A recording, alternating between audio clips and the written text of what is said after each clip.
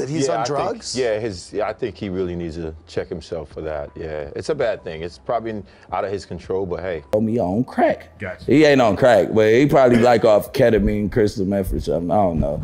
He set up a whole birthday party and you go beat the man up. That's how you say thank you. That's cocaine, y'all. This nigga on drugs, y'all.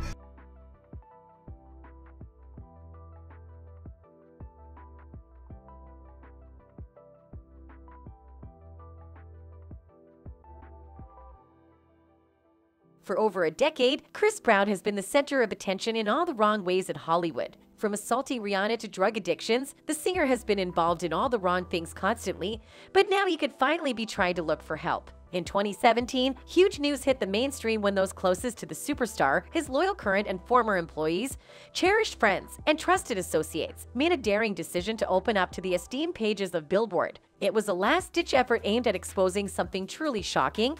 Chris Brown was battling a very serious and potentially fatal drug addiction. He's Dancing with death revealed one courageous member of Brown's team to the magazine, putting into perspective the dire nature of the situation. This extensive expose, relying on the accounts of unnamed sources, peeled back the layers to unveil a distressing truth. Brown had forsaken the necessary treatment for his bipolar disorder for at least a year, while simultaneously succumbing to the horrible allure of hard drugs for a harrowing span of two years. Recalling the unsettling events of the past, former bodyguards, many of whom have since departed, recounted the nights they were forced to remain vigilant, anxiously monitoring Brown's pulse as he teetered on the edge of danger. Operating without a manager or publicist for almost a year, Brown's behavior took a concerning turn when he allegedly threatened a female tour manager, who promptly resigned, citing his destructive drug use. It's been claimed that the chain of events leading to this downward spiral began after Chris Brown's highly publicized assault on Rihanna in 2009 despite subsequent efforts at rehabilitation.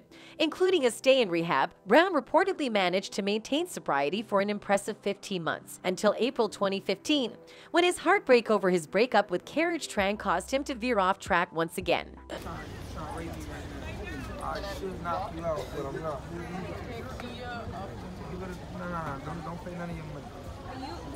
It doesn't matter. It's okay. I got you. Fast forwarding to the present day, only a small group remains in Brown's circle. Some are bound by non disclosure agreements, while others are gripped by fear of potential retaliation. This reveals a pretty shocking truth. The once close bond between Brown and his mother has deteriorated significantly, leaving them largely estranged. Reports suggest that his mother now takes care of his daughter during his designated custody periods. Adding to the changing dynamics, Brown's inner circle has undergone a transformation, with a significant presence of members associated with the Bloods, a notorious street gang. A former friend, acknowledging the arduous journey of addiction, solemnly stated, You can talk to any drug addict or chemically imbalanced person. It doesn't just go away, it's something you have to work on. You have to change your lifestyle, and he's not doing the things he needs to do to get well, so he's never going to be well. The kid is going to hit rock bottom. But that was years ago. Surely Chris has gotten better since then, right? Right. Everything has gotten worse for him. Just recently, hours before Usher and Chris Brown were scheduled to grace the stage with their electrifying performances, a heated altercation erupted between the two stars at a Las Vegas roller rink nearby.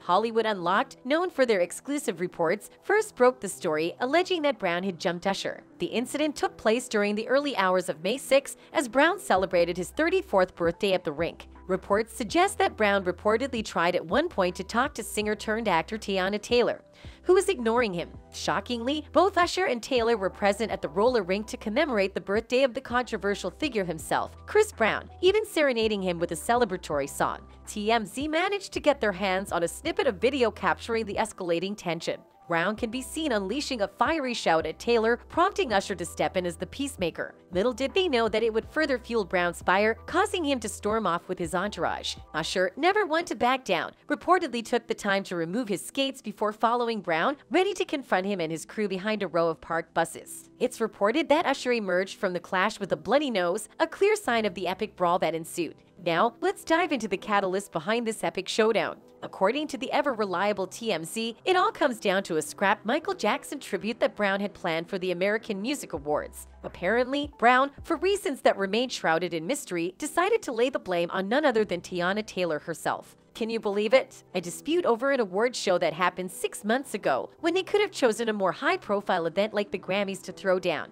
Despite their newfound animosity, both Brown and Usher still managed to put on a show-stopping performance that same night at Lovers and Friends Festival. TMZ assured fans that neither artist showed any signs of injury during their back-to-back sets. But hold your breath, because Brown wasn't done with his fiery antics just yet. The next night, TMZ caught him right in the middle of another altercation at the festival, with security stepping in to break it up. While Brown hasn't directly addressed the brawl with Usher, he did have a few choice words about the subsequent incident. In a bold Instagram comment, he claimed to have simply intervened and dismissed the swirling rumors. According to Brown, he was just trying to reach his child while security was clearing the stage. Chris also reportedly made things a little messy at Missy Elliott's set. New footage circulating online appears to show Chris aggressively trying to reach somebody across from him in what looks to be the backstage area of a venue. Per several blog accounts, this was purportedly taken during Missy Elliott's set Saturday night in Vegas. No details are out yet about this, including what led up to it or who Chris may have been beefing with. Hey,